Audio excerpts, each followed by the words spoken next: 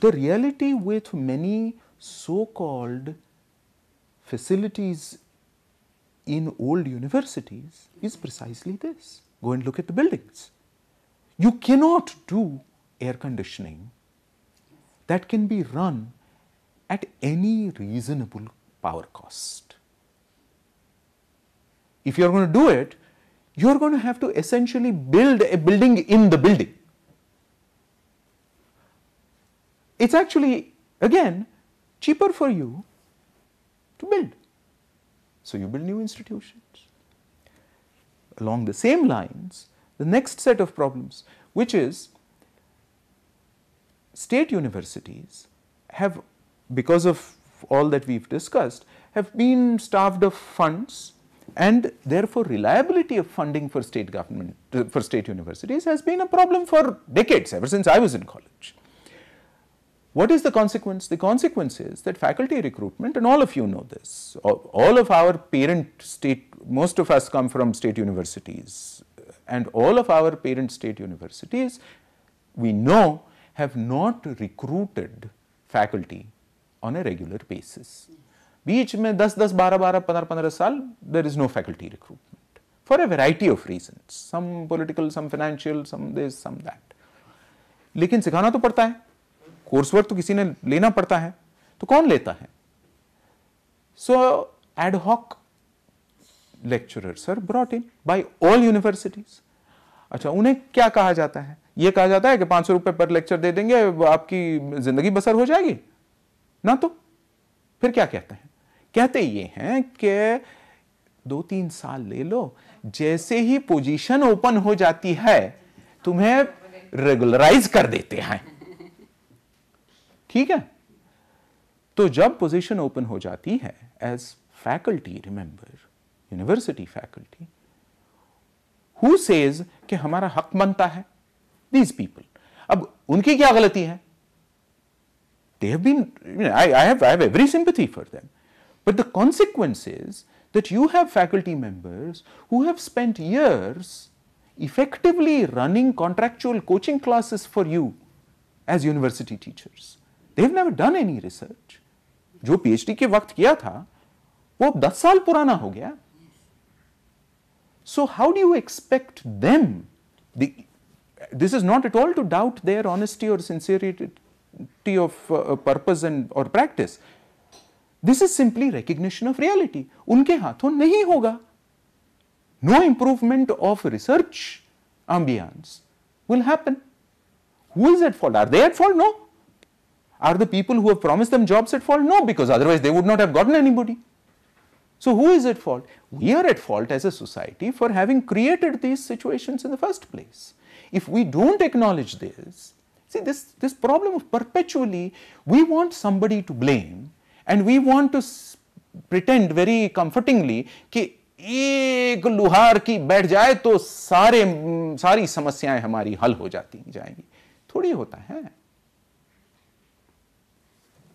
Sir ये तो state में एक दिल्ली यूनिवर्सिटी में हो रहा है they have not hired I'm, for very long time i'm just giving examples that are most obvious and and and and but harsh what i was want to bring it up it's happening in the cent- capital of your country where everybody is watching and everybody is i understand but it is happening much more in small universities much less here See, it's all very well for for us to sit here and say the university में भी होता है, but if you are sitting in um, you know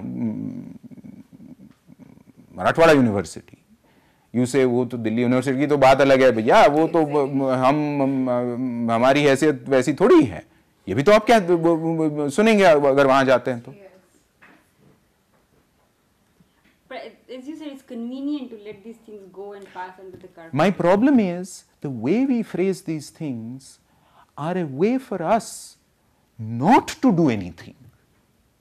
And they're also becoming an attitude. You know, it, it is gradually developing as an attitude for the later it, generation. It becomes a sense for us to say somebody else is to blame and if only this and this was done, none of these problems would exist.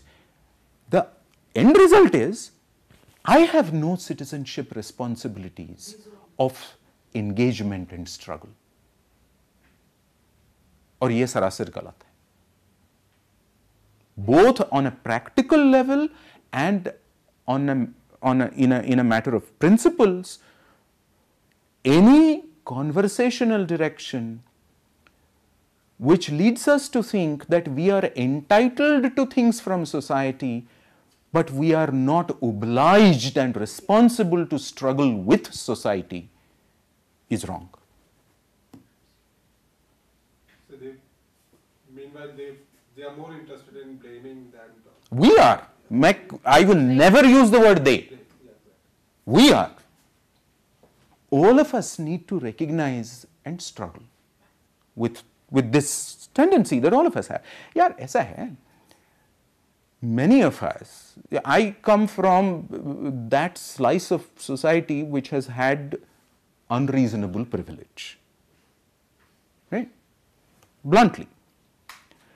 But for many of us, we suffer disempowerment and underprivileging in a variety of ways.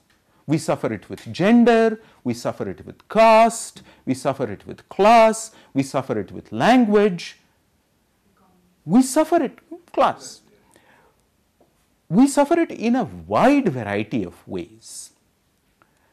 It's very tempting to respond to this not simply with anger, but with a sense of what I'm calling a disengaged sense of entitlement. We are victims, and therefore society owes us something. We don't owe society anything. I agree with the first half of that statement, but I disagree with the second half. And I disagree with the second half because we are society as much as anybody else. We may be underprivileged, we may be disempowered, but if we are not society, who the hell is society? But uh, do you think that uh, hierarchical segregation, whether it be political, even in scientific, I would say, many uh, to great extent, is a cause or had been uh, contributing to all these factors? Means we preach, we practice, we uh, train in one sense. Well, we don't. Quite bluntly, we don't. Um, for 25 years, I have said in every mm, first NII PhD coursework class, you need to stop referring to me as sir. You need to start calling me Satyajit because you need to begin to see that I am simply another colleague. So long as you don't do that, you are going to look at me as a figure of authority.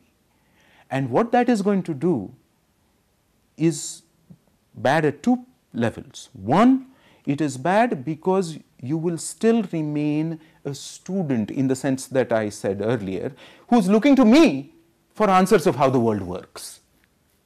And that's not the point of this exercise any longer, if it ever was. Secondly, what you do when you do that is to perpetuate on the broader societal level a sense that there is something appropriate about hierarchies. And I have serious difficulties with that. So, it's all very well for me to say this. Do you know what students say? ये हमसे नहीं होगा कोशिश भी करें तो नहीं होगा the amusement aside i understand culture you see we carry culture deeply embedded in us culture is not something that we choose consciously culture is something that that that shapes us without our realizing that it's shaped us it's why i never trust myself when it comes to conversations about gender simply because I belong to the exploiting gender. It doesn't matter what I think consciously. I am shaped by a patriarchal culture in which I have, I belong to the exploiting group. It is essential for me to be deeply suspicious of everything I say. And it's in exactly the same context that acknowledgement of hierarchy is both deeply problematic and deeply embedded. वो आसानी से निकलती नहीं है बात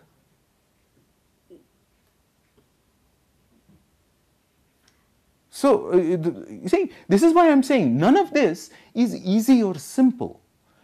It needs the everyday grinding struggle of staying engaged. But hey, whoever said life was easy or fair?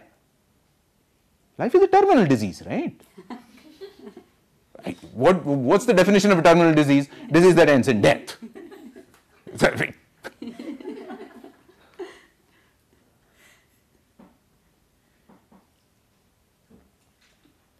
But Dr. Rath, उसमें ये कि आप insist करो कि मेरे को सत्यजीत बोलो and I say सत्य but you go tell next professor by their name and then they're like you're getting C here right here you're never getting out of this class I, Terminally executed. tell I recognize all of this, which is why I am saying this is not simple. It's also why I don't say in class, refer to everybody